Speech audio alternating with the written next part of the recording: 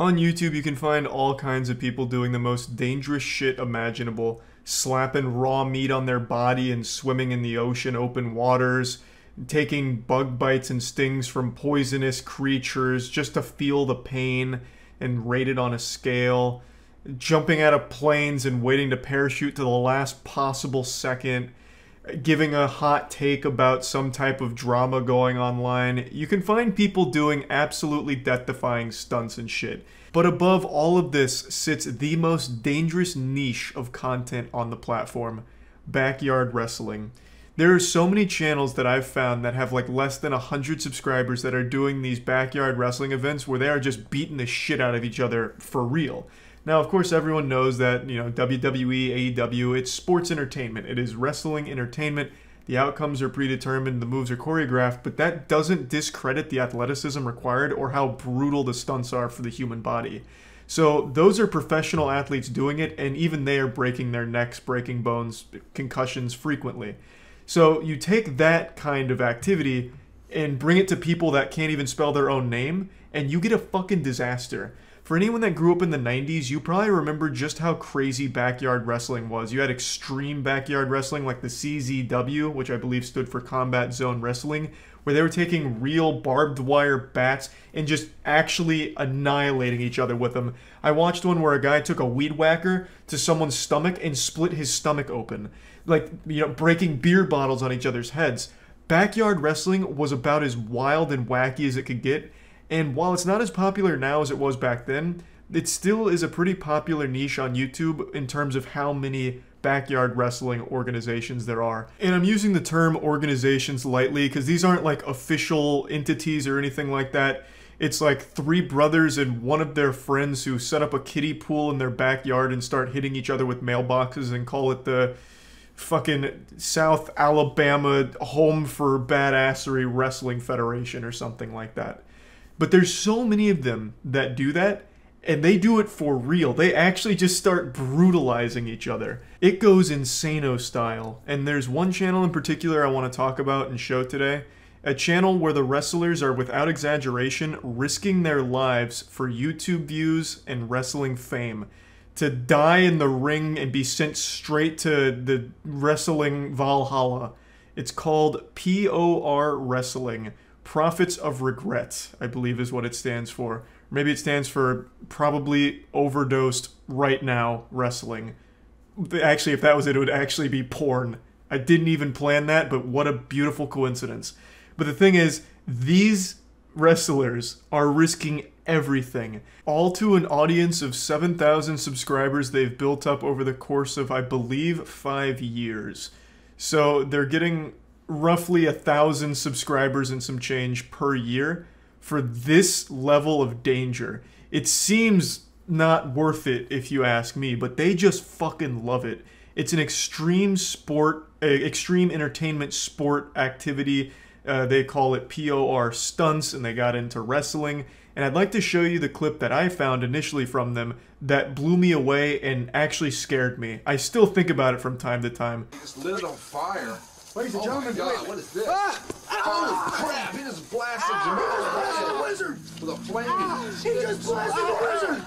Oh my gosh, Jamal's out of it, ladies and gentlemen. What- what is- Holy shit! Holy shit! Oh my god! Oh my god! Out of nowhere, a car just slammed into Jamal the Wizard. Holy crap, Jamal is... Oh Yeah, this dude just gets absolutely blasted by a speeding vehicle going 20 plus miles per hour. And there's no smoke and mirrors here. The man just actually takes a full blown hit from a vehicle. Now, of course, the guy in front, the one that hit him with the flaming bamboo stick, he wanted no part of it. So you can see him try and like pretend like he got hit. So he like jumps out of the way and like flops on the floor like a fish. I think what was supposed to happen is they both get hit by the car, but the last second, this guy's like, this dude just put a brick on the accelerator. I'm getting nowhere near it, so he gets out of the way and jumps. But the other guy commits to it. He's like, you know what? If I'm going out, I'm going out doing what I love. So he takes a full hit from a car. No safety equipment or anything. Now, of course, him getting hit with the flaming bamboo stick wasn't real. He didn't like fully hit him with it or anything like that. But all of the blood on his face is because the match prior to this was using sharp objects and shit. So it's about as real as it can get while still being like loosely rehearsed. But I'm pretty sure him taking a direct hit from a fucking time traveling DeLorean going 88 miles per hour was probably done on the first take here without any prior rehearsal for it. He probably just signed up on a whim saying, eh, fuck it. Yeah, you can hit me with a car, that's fine. After he just finished butt chugging five moonshines in his bathtub. And, you know, they did it live. They really did go for it and pulled it off. Oh my god, James, this is the craziest thing I've seen in wrestling. Is he even alive? Oh my god. Oh my god. Look we who should it known. We should have freaking known. JJ Escobar. Escobar just ran Jamal over with a car. What the hell is he doing in here?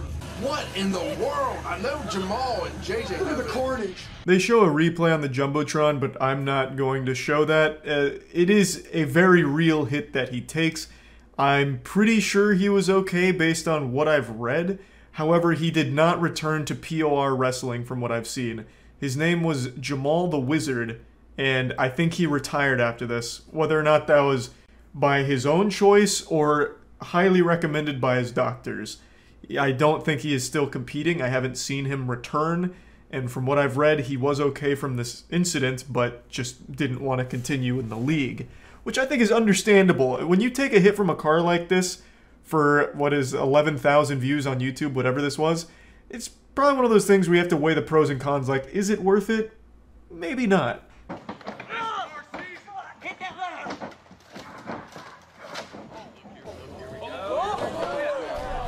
Let's Let's fucking go, baby.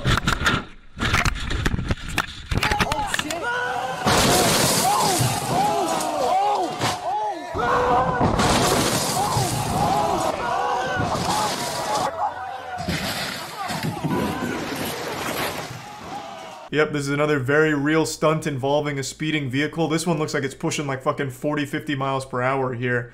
This bad boy was zooming, and it blasts through a camper and crashes into like a garage in the back or something. It, it looks like a scene out of the Dukes of Hazzard. The danger in this one was astronomical, not only for the wrestlers, but everyone even around the vicinity. All the spectators could have just died. Like, there were so many ways that people could have been hurt here. I don't even know where I'd start with naming them. It could have shot glass and debris at the crowd, which I'm sure it did, but they're just, they don't care. You know, they're probably so fucking drunk they didn't even feel it. You know, hey, Grandpappy, you got a piece of that window lodged in your oblique. You alright? He's like, yeah, I don't feel it. It's fine. Let's see what's happening over here with the wrestlers. He might get a three count on this pin. And, and speaking of the wrestlers, the dude hits him with like this crazy atomic power bomb through two tables and 12 light tubes. And I believe those are real light tubes. They're not using sugar glass or anything like that. As far as I know, they're using like actual light tube fluorescent lights. So the little glass there. And it knocks the guy out. He ends up unconscious and bleeding. And he does get the three count, not to spoil the ending. So the guy with the mask wins. But it feels like everywhere that guy goes, it's like the GTA 5 Chaos mod where cars are just shooting all over the place. It's fucking crazy. Another extremely dangerous stunt for so little views on YouTube. It, it just really feels like it's it's not worth that risk. But even as of today, they are still going and the danger is still there. They posted three weeks ago as of the time of me making this video, and they are still just as fucking extreme as ever from what I've been able to tell. It's wild. They do not let up. They have a passion for danger, and my god, nothing's gonna stop them from it. I still can't even believe the level of stunts that they do here because it's again, it's not just like a life or death situation for the people involved in the actual, you know, extreme entertainment showcase. It's anyone around them. That car could have absolutely, uh, while speeding at the camper, taken a bad swerve by hitting like a like a slick in the mud there, or hitting something and swerving into the crowd and just hitting them like bowling pins. Th- There's just so much that could have went wrong there, and they just said, "Fuck it." Let it ride anyway. But yeah, I just wanted to briefly talk about this because I started thinking about backyard wrestling again. Because, I mean, growing up, I used to be a fan of it. I used to watch a lot of it. I even had the old Xbox game, Backyard Wrestling. It was fun. And somehow it's still around and probably more extreme now than ever, maybe. I don't know. It's kind of a bold claim to make, but it, it is wild. And I just wanted to talk about it a little bit. Uh, that's about it. See ya.